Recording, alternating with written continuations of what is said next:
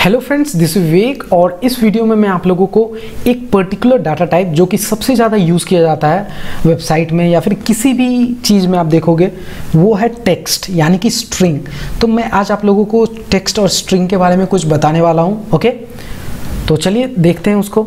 तो सबसे पहले अगर आप लोगों को पी प्रोग्रामिंग लैंग्वेज में अगर स्ट्रिंग के साथ कुछ करना है तो आपको डबल कोट्स में किस कोट्स में? डबल कोट्स या फिर सिंगल कोट्स में आपको उसे देना पड़ेगा स्ट्रिंग को। और इसके अंदर आप स्ट्रिंग लिख सकते हो। This is this is Vivek and this is a string okay उसी तरीके से आप एक दूसरा वेरिएबल भी ले सकते हो डॉलर वाई और इसको डबल कोट्स में आप दे सकते हो। इसको लिख सकते हो this is Vivek and this is another string right तो इस तरीके से आप लोग स्ट्रिंग वगैरह बना सकते हो और फिर आप इसे प्रिंट करवा सकते हो डॉलर एक्स कॉमा आप चाहो तो दूसरा वेरिएबल भी पास कर सकते हो डॉलर वाई ओके तो चलिए मैं इसे रन करता हूँ और आप देख सकते हो यहाँ पे आ, क्या हुआ? अब इसे dollar x and dollar y क्या गलती हुई? Undefined variable x okay okay okay ये जो एक्स है वो कैपिटल केस हो गया। मतलब आ, क्योंकि पीएचपी एक केस सेंसिटिव लैंग्वेज है तो यहाँ पे एरर आ गई। तो आप देख सकते हो this is Vivek and this is a string this is Vivek and this is another string okay अब यहाँ पे मैं बात करता हूँ स्ट्रिंग कॉन्काटिनेशन की। स्ट्रिंग कॉन्काटिनेशन क्या होता है? दो स्ट्रिंग को एक साथ जोड़ना ओके तो अगर मैं एको करूँ इसे और मैं dollar x comma dollar y करूँ तो आपको रिज़ल्ट क्या आ रहा था? This is Vivek and this is string और उसके बाद आ रहा था ये। तो ये भी एक तरह का स्ट्रिंग कॉन्काटिनेशन है, लेकिन यहाँ पे और भी तरीके हैं। जो दूसरा तरीका है, वो है डॉट लगाना। डॉट जो है, इसको स्ट्रिंग कॉन्काटिनेशन ऑपरेटर कहते हैं। क्या कहते हैं? String concatenation concatenation operator okay और फिर अगर मैं इसे प्रिंट करूँ तो आपके पास सेम रिज़ल्ट आएगा राइट right? लेकिन मैं क्या चाहता हूँ? मैं चाहता हूँ this is Vivek and this is string उसके बाद कुछ स्पेस है और फिर जाकर के दूसरा स्ट्रिंग हो तो कैसे करें? तो मुझे डॉलर एक्स डॉट उसके बाद मुझे कॉन्काटिनेट करना पड़ेगा स्पेस ओके और फिर मुझे कॉन्काटिनेट करना पड़ेगा डॉलर वाई को। आराम से देखिए, मैं पहले इसे प्रिंट करके दिखाता हूँ, फिर दिखाता हूँ। तो आप देख सकते हो यहाँ पे स्पेस आ गई। आपको विश्वास नहीं होता है तो मैं एक और स्पेस यहाँ पे डाल देता ओके और फिर अब देखिए, अब आपके पास थोड़ा सा ज़्यादा स्पेस आएगा। अभी देखिए, अब थोड़ा सा कम है। अभी देखिए, अभी थोड़ा सा ज़्यादा हुआ। राइट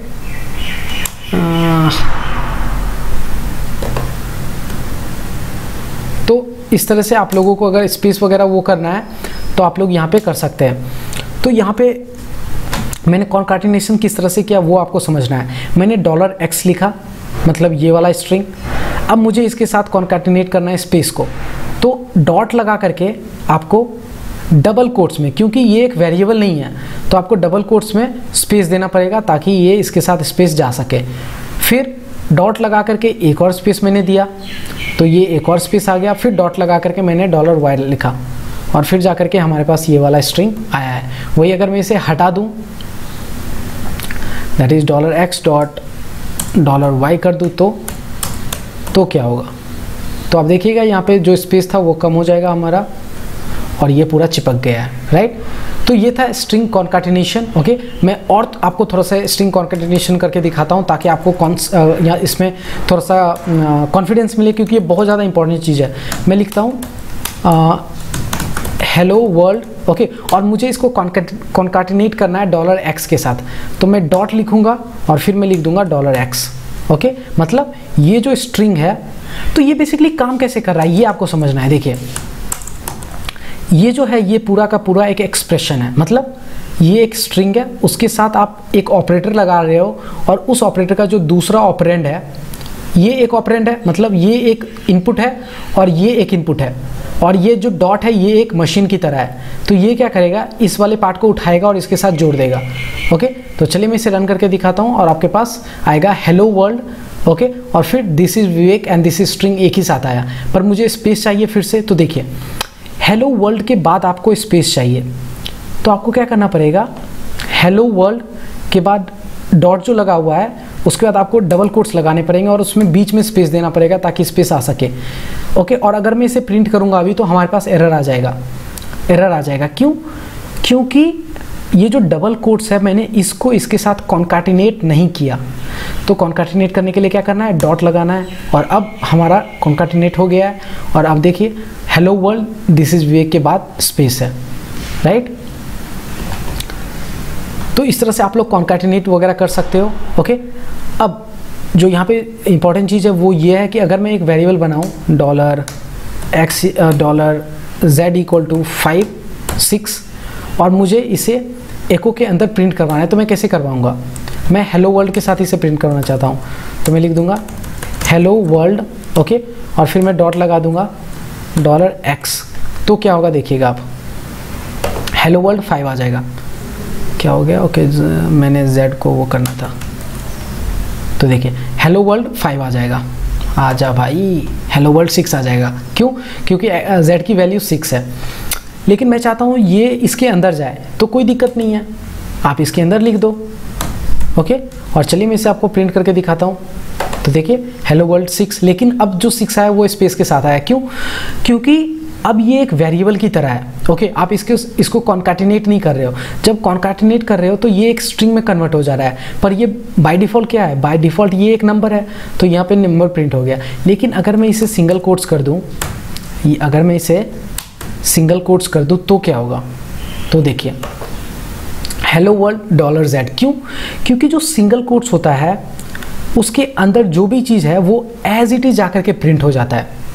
मतलब इसके अंदर अगर आपने ये डाला है तो ये एज इट इज़ जाकर के यहाँ पे प्रिंट हो जाएगा। लेकिन जो डबल कोट्स होता है, वो क्या करता है? वो सबसे पहले चेक करता है कि क्या मेरे अंदर कोई वेरिएबल है। उसे कैसे पता चलता है कि उसके अंदर कोई वेरिएबल है कि नहीं? तो वो डॉलर सिंबल से पता चलता है। और फिर अगर आप प्रिंट करवाओगे तो वो उस वेरिएबल का वैल्यू प्रिंट कर देगा। ओके और ये गलती एको की नहीं है। आप इस चीज़ को समझिए, मैं आपको समझाता हूँ। ये देखिए एको क्या करता है? एको को जो भी चीज़ यहाँ पे दिया जाता है, वो उसे प्रिंट कर देता है। पर अभी आप इसे क्या दे रहे हो? अभी आप इसे दे रहे हो हेलो वर्ल्ड और उसके अंदर डॉलर जेड दे रहे हो। मतलब आप इसे एक एक्सप्रेशन दे रहे हो। क्या दे रहे हो आप इसे? इसे एक एक्सप्रेशन दे रहे हो। और इसका वैल्यू क्या आ रहा है? अगर आपको विश्वास नहीं होता है तो चलिए मैं आपको दिखाता हूँ। मैं क्या करता हूँ मैं वेरिएबल बना लेता हूँ डॉलर डॉलर वैल और इसको मैं ये वैल्यू दे देता हूँ। ओके ओके और अब मैं डॉलर वैल को प्रिंट करवाता हूँ। डॉलर वैल को प्रिंट करवाता हूँ। तो चलिए मैं इसे प्रिंट करवाता हूँ। अभी भी हमारा रिज़ल्ट सेम आएगा राइट लेकिन वही अगर मैं यहाँ पे डबल कोट्स की जगह पे सिंगल कोट्स डाल दूँ और फिर मैं अगर इसे प्रिंट करवाऊँ तो आप देखिएगा सेम रिज़ल्ट आया। तो इसका मतलब क्या हुआ? इसका मतलब ये हुआ कि ये एको की प्रॉब्लम नहीं है, ये इस ट्रीटमेंट की प्रॉब्लम है। अगर वो सिंगल कोट्स में होता है तो वो एक, इसके अंदर जो भी चीज़ है, वो एक कांस्टेंट वैल्यू माना जाता है। क्या माना जाता है? वो एक कांस्टेंट वैल्यू माना जाता है। मैं लिखता हूँ यहाँ पे। If if it is inside single quotes single quotes it is considered considered a constant value that is literal मतलब हम लोग उसे जैसे उसके अंदर है वैसा ही मानते हैं। लिटरल लेकिन अगर वो डबल कोट्स के अंदर है if it is under double quotes double quotes it is an expression क्या है? आराम से, देखिए। तो मैंने क्या बोला? मैंने बोला कि ये दिक्कत एको की नहीं है। एको को तो आप जो भी यहाँ पे दोगे, वो एज इट इज़ प्रिंट करवा देगा। ये दिक्कत है single quotes and double quotes की। ये करता क्या है? अगर आप सिंगल कोट्स में दे रहे हो तो जो भी चीज़ सिंगल कोट्स के अंदर है, वो उसे कांस्टेंट वैल्यू मान लेता है। जैसा कि आप लोगों ने इसके अंदर जो भी चीज़ दिया है, ये एक सिंगल ये एक वैल्यू माना गया ना। This is Vivek and this is string उसी तरीके से हेलो वर्ल्ड डॉलर जेड ये एक वैल्यू माना गया राइट लेकिन अगर जब आप इसे डबल कोट्स के अंदर देते हो तो इसे एक एक्सप्रेशन माना जाता है। किसे? इसके अंदर के वैल्यू को। तो अगर ये एक्सप्रेशन है तो इसका कोई वैल्यू आना चाहिए। तो वैल्यू क्या आएगा? हेलो वर्ल्ड और डॉलर जेड की जगह पे जो डॉलर जेड का वैल्यू है दैट इज़ सिक्स यानी कि हेलो वर्ल्ड सिक्स आ जाएगा। तो आप समझ पे आ रहे कि single course and double course में क्या डिफरेंस है। तो कभी भी कभी भी अगर आपको डॉलर वगैरह या फिर डॉलर एक्स डॉलर वाई वगैरह प्रिंट करवाना है तो आप लोग उसे सिंगल कोट्स में दीजिएगा। क्यों? क्योंकि डबल कोट्स में अगर आप उसे दीजिएगा तो वो समझेगा कि ये एक वैल्यू है। जैसे कि मैं दिखाता हूँ आपको। देखिए undefined variable z y y क्यों? क्योंकि हम लोगों ने इसे डबल कोट्स के अंदर डाला। डबल कोट्स के अंदर क्या डाला? डॉलर जेड वाई वाई लेकिन डॉलर जेड वाई वाई नाम का तो कोई वेरिएबल ही नहीं है तो हमारे पास एरर आ जाएगा। लेकिन मैं चाहता हूँ कि hello world dollar z y y print हो। तो अगर मैं चाहता हूँ ये एज इट इज़ प्रिंट हो तो मुझे सिंगल कोट्स में डालना पड़ेगा, क्योंकि वो मेरी गलती है। और अगर मैं अभी प्रिंट करूँगा तो आप देखिएगा hello world dollar z y y तो आप समझ रहे होंगे आई होप आपको समझ में आएगा क्योंकि जिस फीलिंग से मैं बोल रहा हूँ, आपको उस तरह से समझना पड़ेगा, तभी जा करके आपका ये सब जो कंसेप्ट है वो क्लियर हो पाएगा। तो ये था difference between single course and double course okay so that's off for this video this is Vivek signing off